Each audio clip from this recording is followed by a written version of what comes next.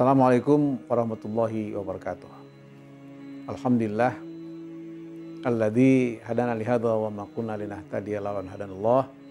Asyhadu an la ilaha illallah wahdahu la syarikalah wa asyhadu anna Muhammadan abduhu wa rasuluh. Qala Allah Ta'ala fil Qur'anil Karim, A'udzu billahi minasyaitonir rajim. Bismillahirrahmanirrahim. Ya ayyuhalladzina amanu kutiba alaikumus syiyam kama kutiba alal ladzina min qablikum la'allakum tattaqun. Ya orang beriman, diwajibkan atas kamu berpuasa sebagaimana telah diwajibkan kepada orang-orang sebelum kamu agar kamu menjadi orang yang bertakwa. Nah, para pemirsa yang dimuliakan dirahmati Allah, ibadah puasa tidak sekedar rutinitas setiap tahun, akan tapi ibadah puasa merupakan ibadah yang sangat esensial, yaitu untuk memperkuat nilai-nilai spiritual, yakni nilai-nilai keimanan, untuk mewujudkan ketakwaan. Sebagaimana kita ketahui bahwa iman itu merupakan pondasi untuk menjadi orang yang bertakwa. Artinya orang yang bertakwa tidak lahir tiba-tiba, akan tapi harus melalui proses internalisasi iman, di mana iman yang sesungguhnya adalah kata Rasulullah, laisal imanu bitamanni walakin nama wa bil qalbi wa bil amal. Iman itu sudah bukan sekedar hayalan, tetapi iman itu merupakan keyakinan dalam hati, kemudian diikrarkan, kemudian dibuktikan dengan amal perbuatan. Jadi ada tiga. Pertama, iman itu mengandung unsur eh, keyakinan. Ya, yang kedua harus diikrarkan, ikrarun bilisan. Yang ketiga dibuktikan dengan amal perbuatan, amal bil arkan. Oleh karena itu, ibadah puasa salah satu uh, tolak ukur uh, apakah seorang dalam kondisi beriman atau tidak. Jadi kalau ada orang yang tidak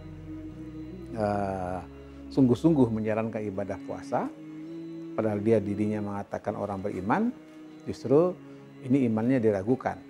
Artinya imannya uh, belum sesungguh-sungguh untuk uh, menjalankan ibadah puasa. Jadi ada orang yang ibadah puasanya itu di hari pertama, kemudian pertengahan dan akhir. Nah ini ini namanya puasa orang awam yang tidak mempunyai dasar keimanan yang kuat.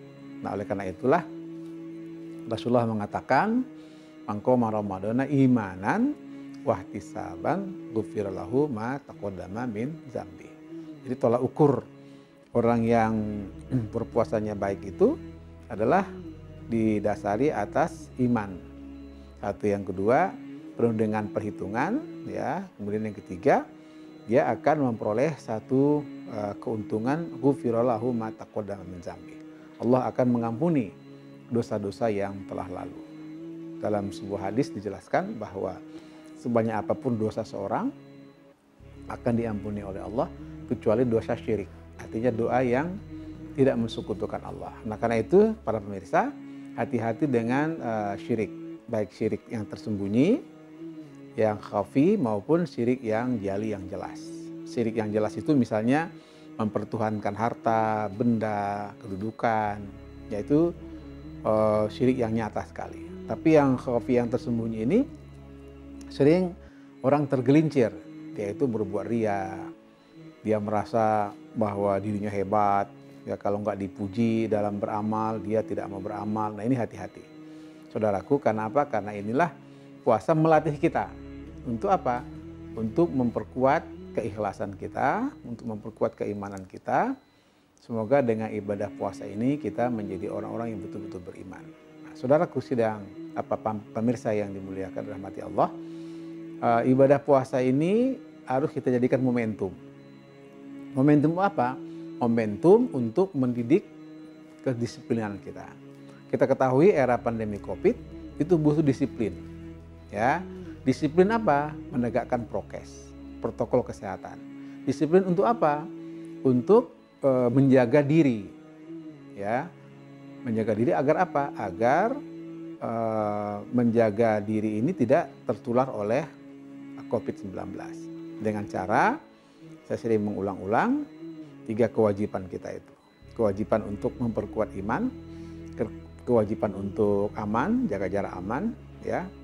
Dan ketiga adalah kewajiban untuk imun. Nah, kewajiban untuk imun ini tidak mudah, para pemirsa. Ya, tidak mudah kenapa? Karena kita harus melatih diri, yaitu dengan cara memakan makanan eh, halal yang toyib. Ya, menjaga diri agar tidak mudah terpengaruh oleh eh, apa namanya pergaulan yang menciptakan kerumunan.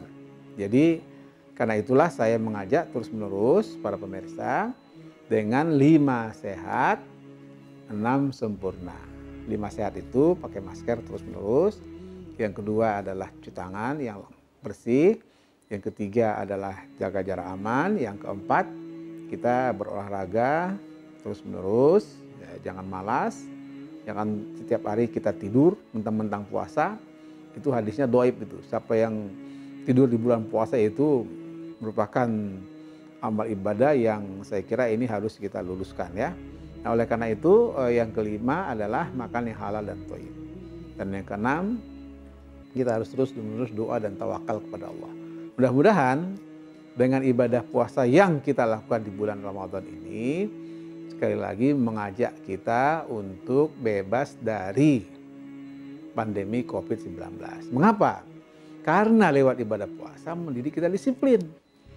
Tidak ada yang paling disiplin kecuali ibadah puasa sama berbuka, sama imsak, sama-sama untuk sholat berjamaah. Disiplinnya luar biasa. Para pemirsa, karena itu mari kita tingkatkan disiplin, mari tingkatkan kebersamaan, mari tingkatkan kepedulian. Mudah-mudahan kita menjadi hamba Allah yang bertakwa. La'allakum tatakun. Terima kasih para pemirsa. Mudah-mudahan apa yang sampaikan ini ada manfaatnya. Nasrul minallah wa fatung qorib wa basyiril mu'minin. Semoga kita mendapat pertolongan dari Allah karena pertolongan Allah itu dekat sekali bagi orang yang beriman. Walafu minkum. Bila taufiq wal hidayah. Wassalamualaikum warahmatullahi wabarakatuh.